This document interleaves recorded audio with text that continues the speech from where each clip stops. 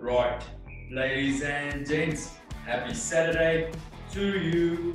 Uh, we are going to get you nice and sweaty and warm and ripped and stuff, right, for the session today or with the session today.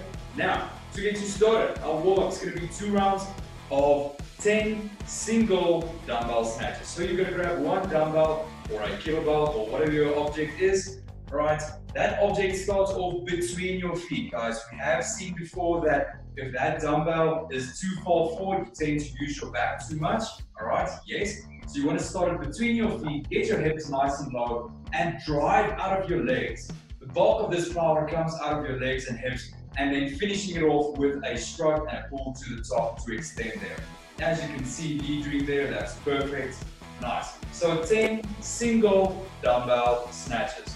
Then we hop on into eight air squats. Okay, you know the drill by now. Hips nice and low, chest up. There we go. Good, good, good. Okay, so eight of those. Heading into six burpees. Right. So chest on the ground and step it up or hop it up if you want, whatever you do. Perhaps in your first run, you can step it down and up. In your second run, you can jump it up. And then ending it off with four push-ups.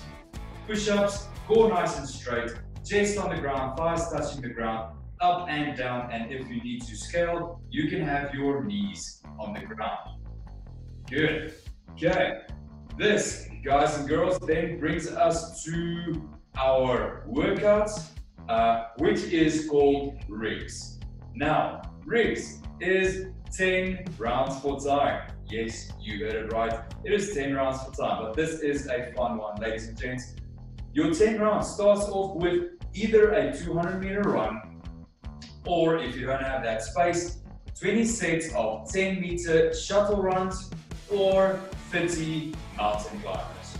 Okay, so for the mountain climbers, top of the push-up position, core nice and active, and you're gonna be pulling your knees up to your chest, all right, not letting your hips sag, boom, boom, boom, 30 of those.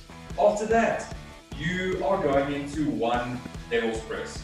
Okay, so for your devil's press, you're gonna grab your dumbbells or whatever you have there, okay? You're gonna drop down into basically a push-up, all right, boom, getting that dumbbell overhead after that. So essentially completing a burpee with a weight.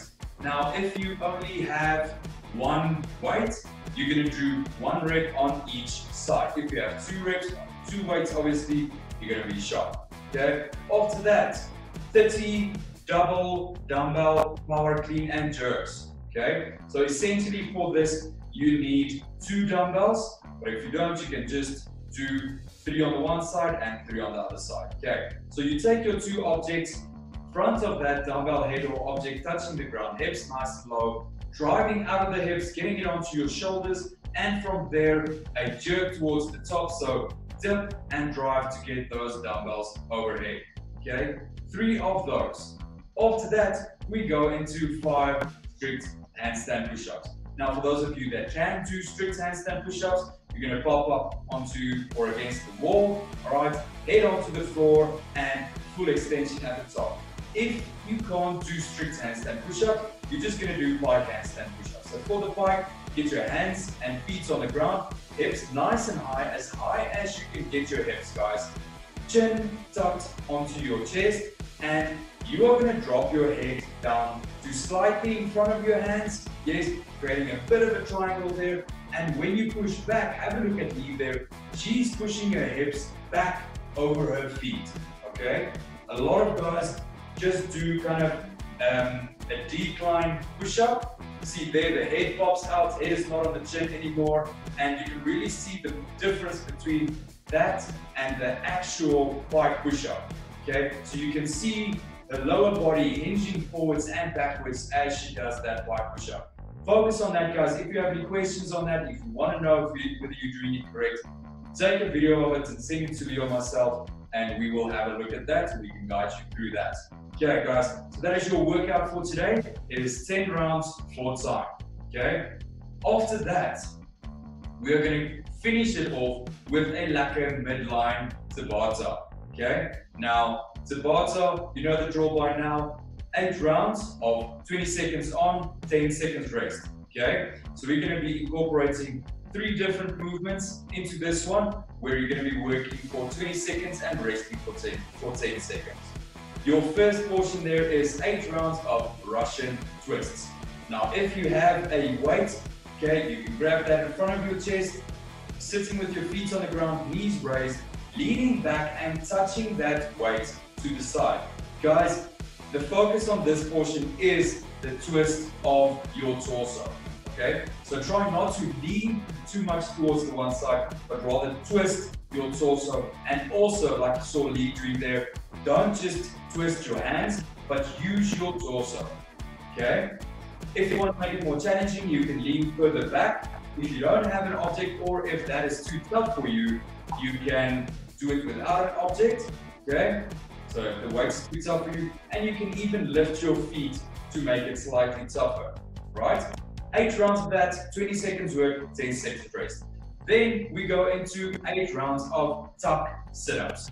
Okay, so kind of like a normal sit-up, on your back, knees, ex feet extended, and putting your knees up to your chest and extending. Boom.